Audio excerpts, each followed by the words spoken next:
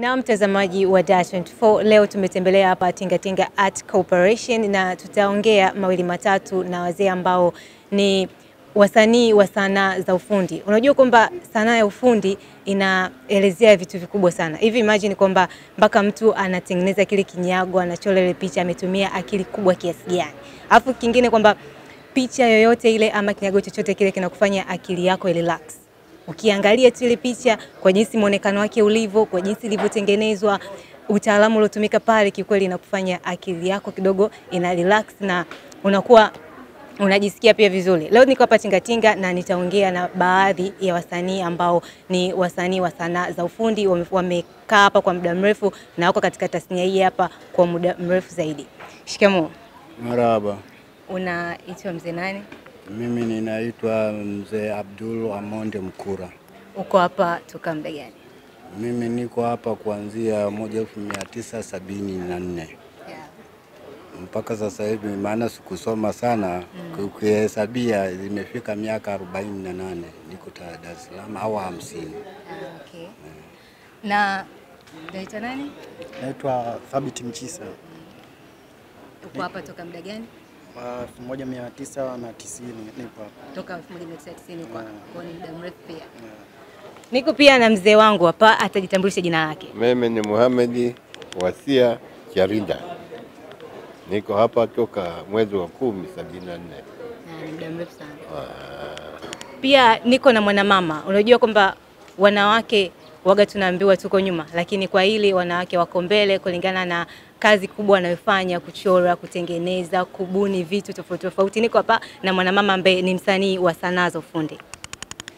Mimi naitwa Elena Luoga, nina miaka kama kumi na mbili, niko hapa toka mwaka elfu mbili na tatu. Wewe kama msanii wa sanaa za ufundi, Ndio. tokea umeanza sanaa, kuna changamoto nyingi umepitia, vitu vingi umepitia tangia umeanza sanaa za ufundi, kuchora, kutengeneza vinyago na vitu kama hivyo. Hebu tueleze.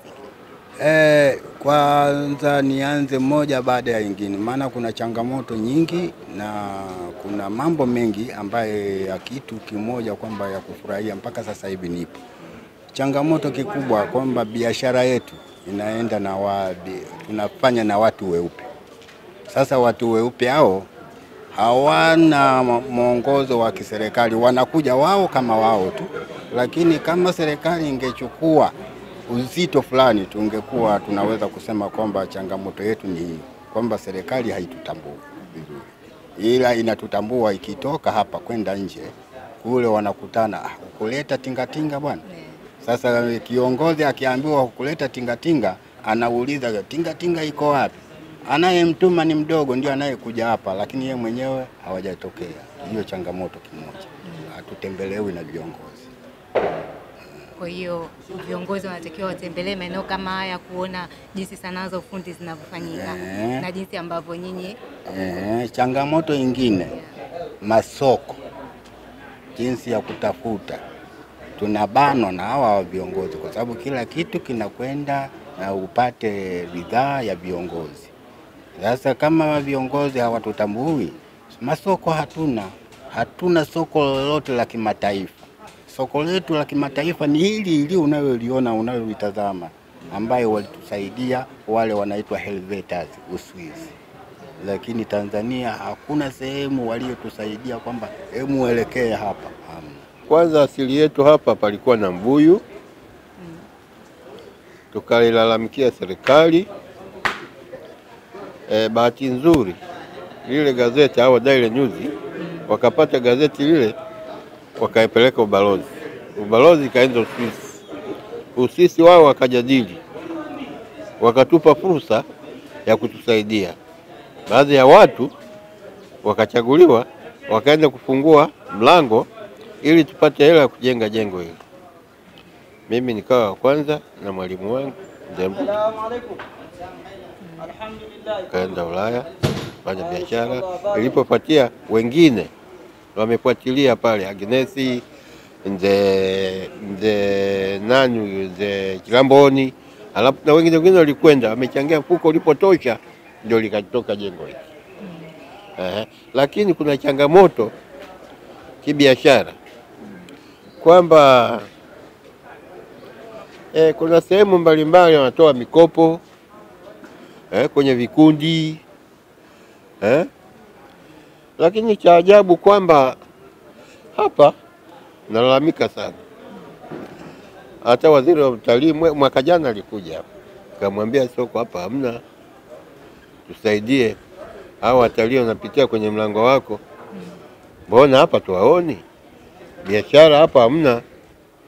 Sasa tukuelemea upande wa mikopo, tunapokwenda kwenye mikopo nakuta bonge la mashariki eh? Ingekuwa sisi tingatinga tumesaidiwa mkopo, nafikiri sahizi tungali pengine, kwa sababu hatuwezi kutegemea sanaa peke yake.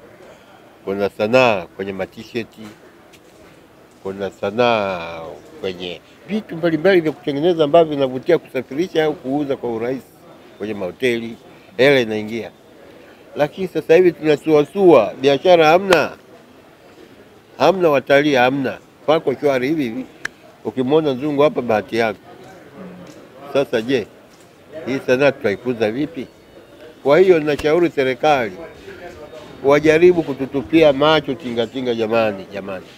Mwanzoni jengo tumelialia, wazungu hao wasisi wakatusaidia jengo hili. Sasa hivi mikopo, mabenki yapo na kila siku watangaza tangaza habari za ma- ma- mikopo. Sasa sisi kwa nini tunarukwa? Maana tunarukwa, hatuoni kitu. Mikopo ikija hapa, masharti yangu utakimbia. Kwa hiyo naomba, naomba, naomba, naomba ili tuendelee, ili wasanii wajisikie kama wasanii, serikali itupe jicho lake hapa. Changamoto ambazo tunapitia sisi ni za wateja kwa sasa hivi, tofauti na zamani. Zamani kidogo kulikuwa kuna wateja wengi sana, yaani angalau, lakini sasa hivi wateja kidogo wamekuwa hamna tena. Unaweza ukakaa siku nzima usimwone hata mgeni, maana sisi biashara yetu tunategemea wageni sana. Kwa hiyo tulikuwa tunaomba serikali nao basi watusaidie au watuone na sisi wasanii wa sanaa za ufundi wa mikono, maana kwa ninavyoona kama serikali inapendelea inawapendelea tu wasanii wa mziki na bongo movie, ndio sana wao, ndo hata mialiko wao ndo wanapewa, Ikulu wanaitwa wana nini, yani hizo. Nilikuwa naomba serikali nao watuone na sisi, japo watupe fursa hata za kutu, kutufanyia promo, maonyesho nje hivyo itatusaidia, labda tutajulikana na wateja wanaweza wakatujua wakawa wanakuja. Mimi siko mbali kama alivyokusha tangulia wenzangu. Changamoto ni kwamba watalii wamekuwa hamna sasa hivi, Ilinganisha kipindi cha nyuma. Watalii walikuwa ni wengi, tulikuwa tunapata fursa nyingi, lakini sasa hivi tunaona kama vile serikali imetutenga, yani imetuweka pembeni. Wanaesaminika sasa hivi ni wa- wasanii wa muziki eh? wasanii wa maigizo eh? wacheza filamu. Tumeshuhudia kati hapa wacheza filamu wamepewa viwanja Kigamboni, lakini sisi tumesaulika. Naona na sanaa yetu hapa inatoa ajira kwa vijana, wapo wengi, watu wanapata ajira hapa. Tunao vijana, watu ambao wanamaliza elimu ya msingi wanakuja hapa wanaendeleza hii sanaa, lakini tuna tunarudi tena upande wa serikali, tunaiomba, tunahitaji sapota kutoka kwao. Kilio cha, cha wasanii wa sanaa za ufundi ni sapoti kutoka katika serikali, pia kupata masoko hata nje ya nchi. Pia kazi kubwa wanayofanya kwa ajili ya kuelimisha jamii kupitia ati zao wanazotengeneza, kupitia vinyago vyao wanavyovitengeneza, ni elimu kubwa sana inayotumika, ni akili kubwa sana inayotumika kiasi kwamba msanii mpaka kukaa kufikiria kuchola kuchonga na nini, imagine ni akili kubwa kiasi gani alifanya. Mi naamini kwamba wasanii wa sanaa za ufundi wana akili kubwa sana kuliko kitu chochote kile, maana kuchora na kutengeneza na kukichonga kikakaa kikaonekana huyu ni tembo, huyu ni twiga, huyu ni nani, ni akili kubwa sana. Mi nakumbuka nilivyokuwa shule, nakumbuka nilichora tembo nikawazidi watu wote darasani, then nikapewa excellence na mwalimu. Yani wale watu wengine it's like wakaona eh, kumbe kile anajua kuchora, lakini anajua nichore tembo, nichore ni, Yani ule tembo nilimchora vizuri, lakini sasa hivi siwezi. Lakini hapa wazee wetu kuanzia kipindi hicho wako hapa wanachora vitu vizuri na vinaonekana. Just imagine kwamba vitu vinavyotoka Tanzania vinaenda nje na wasanii wa Tanzania hawapewi credit, hawapewi kwamba huyu ndo aliyetengeneza aliyechonga hicho kinyago ama huyu ndo aliyechora hiyo picha. Imagine kwamba anajisikiaje, na hali yake bado iko duni, japokuwa anafanya kazi ngumu na anatumia muda mrefu sana kuchora pia na kutengeneza. Lakini pia sanaa ya ufundi kwa sasa hivi kuna mradi huu ambao umeanza, kama sijui umeusikia, mradi wa TASIP. Ah, huu mradi nimeusikia na mpaka hapa kwetu umeshakuja na kuna baadhi ya wasanii wenzetu wameshajisajili kwamba kununua zile kadi na wameshaingia kwenye system. Unaona? Ila tunachowaomba wasikae kimya, wao wanakuja mara kwa mara ili kutuhimiza. Ni kweli wameshawahi kuja hapa. Kuna baadhi ya wasanii wenzetu tayari kadi wanazo na tayari kuna baadhi ya wasanii vilevile wameshachukua mikopo. Hiyo hiyo midogo midogo, ila nafikiri sasa to- toka amekuja hapa hatujaona hapa katikati. Kwenye mradi huu wa TASIF unaona kuna changamoto gani hasa kwenye sekta ya kukopeshwa wasanii wa sanaa za ufundi?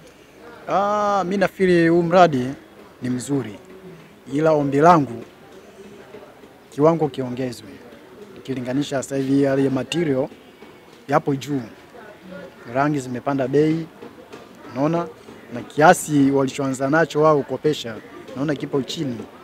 Ombi waongeze, tutakopa.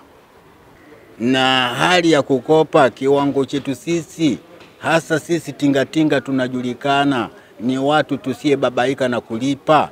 Kiwango hiki cha elfu thelathini cha nzio ndogo ifike hata laki moja kwa ma, ma, yani kwa shughuli ya kazi yetu, ndio kidogo itatusaidia na sisi tunaweza kurudisha kwa wakati. Mimi binafsi nitawafuatilia kwa sababu kitambulisho nacho, nitawafuatilia. Huenda kama alivyosema mheshimiwa pale, waweza kukopa ukarudisha, ukakopa ukarudisha, ukakuwa mkopo ukawa mzuri zaidi. Kwa hiyo hili hata mimi ameniingizia kwenye kichwa yangu ujanja fulani au uzuri fulani au nafuu fulani. Kitu ambacho mi natamani kiongezeke ni wao, yani kwa kuhusu mkopo haina shida, waongeze tu kiwango labda elfu hamsini kuanzia elfu hamsini na nilikupo na washauri labda watusaidie, ujue kuna fursa zinatokaga hizi za kwa mfano kama maonyesho ya expo yanayofanyika nje, yani wao labda na wao waingize mkono kutokana na nini, kuna our Tantrade. Tantrade wao ndo wanazishikilia zile fursa kwa Tantrade kwenye kila kikundi huaga wanatoa watu wawili wawili. Sasa unakuta mtu mwingine na yeye anao uwezo wa kushiriki, lakini TANTED wao wakishakusanya watu wao basi, na uwezi tena kupata nafasi kwa kupitia wao tena. Kwa yani kama hao TASIF na wao wakiingilia wapate na wao fursa, labda watatusaidia sisi wengine ambao tutakuwa tunahitaji kushiriki na tunakuwa tumekosa nafasi kwa kupitia Tantrade. Yani huo ndo ushauri wangu kwao, yani wafikirie na wao kutusaidia sisi wasanii wengine ambao tutakuwa kuwa tunakosa nafasi kwa kupitia Tantrade. Naam, hayo ndio ambayo wameeleza ya moyoni kabisa. Serikali ni jukumu lao pia mradi huu wa TASIP ambao unatambulika na serikali ambao ume, una una unajitahidi kuwashika mkono wasanii wa sanaa za ufundi na kuonyesha jamii kwamba wasanii wa sanaa za ufundi wana uwezo wa kuongeza kipato chao, pia wakaongeza pato la taifa. Ulikuwa nami Happiness Kelly ambaye nimeweza kuongea na wazee wangu hapa pia na dada yangu pamoja na kakaangu ambaye ni wasanii wa sanaa za ufundi toka miaka hiyo na miaka mingi hapa Tingatinga Art Corporation. Kama wewe unapenda arts, unapenda michoro mizuri, karibu karibu Tingatinga Corporation kwa ajili ya kupata vitu vizuri, pia kuwapa fursa wasanii wa sanaa za ufundi.